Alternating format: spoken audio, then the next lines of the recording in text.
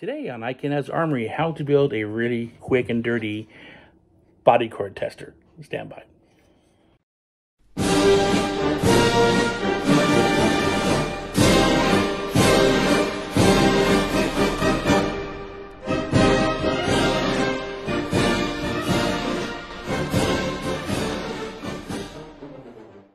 Okay, so um, this was asked of me on, I think it was fencing subreddit a while back. Someone how you can build a quick and dirty, dirty you know, um, body cord tester. There are commercially available uh, weapon testers. Hang on, where, where to go?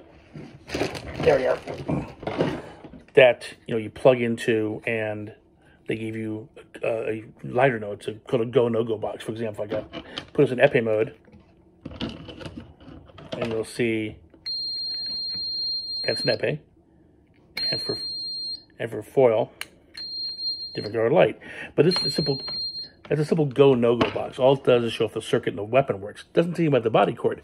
You can buy a Favero tester, about yay big, kind of expensive, um, and they do the job. They're kind of hard to use at times, or you can get a drill test box. I've got, but some people don't want that. They want a quick and dirty thing you can just slap together, do it home, checking your own body cords only. And that's what came with this. Uh, this is actually attached to a uh, ohmmeter, and I'll show it in a second here. Also, I'm doing that shot with these neat little glasses that have a camera right in the bridge.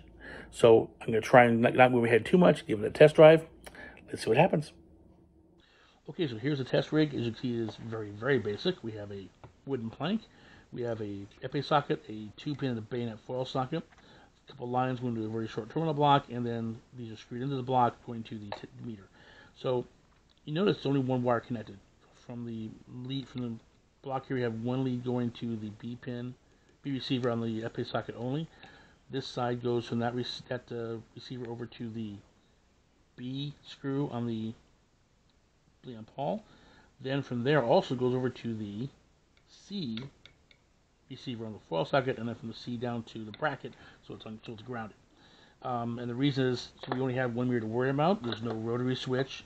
Uh, it's very easy, very quick to put together. It's kind of slapdash and does the job. So here's how you use it. Let's say you're going to test an epee cord. You're not going to plug it in this way, not for the A line. For the A line, you're going to flip it around.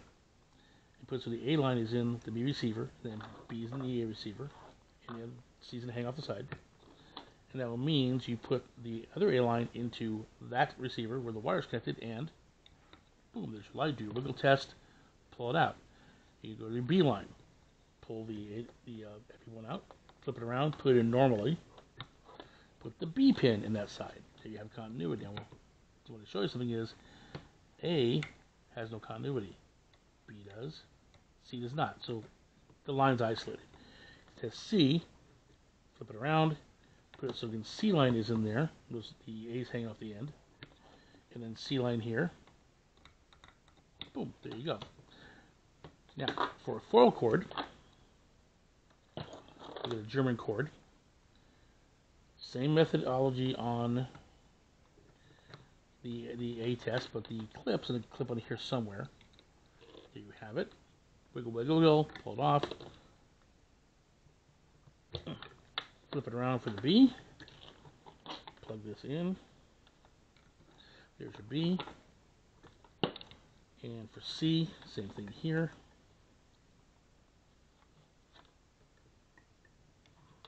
There's your C. And if you use bayonet, again, same procedure for A, B, and C. The difference, of course, being that uh, the bayonet goes over here connection for B and C.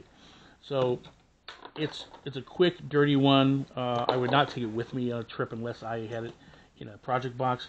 If I was to make this as a more permanent thing, in addition to a project box, I'd have these on by a solder lug so it wouldn't come off, and I'd have a, a bit neater connection. I have a better connection here. This is a little bit loose, um, but it does the job. But this is the um, the, the quick slapdash yet works uh, tester for body cords. If you don't feel like buying the Favero one or um, or, or more elaborate box like I've got. There you go. Good luck. As always, happy armoring.